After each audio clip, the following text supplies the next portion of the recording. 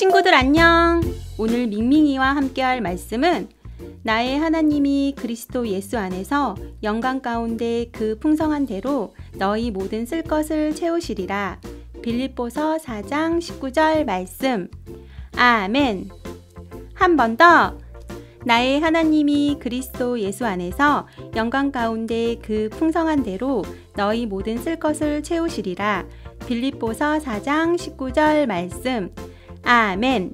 하나님을 믿고 따르면 부족함이 없이 넘치게 채워주실 거야. 내일 또 만나. 안녕.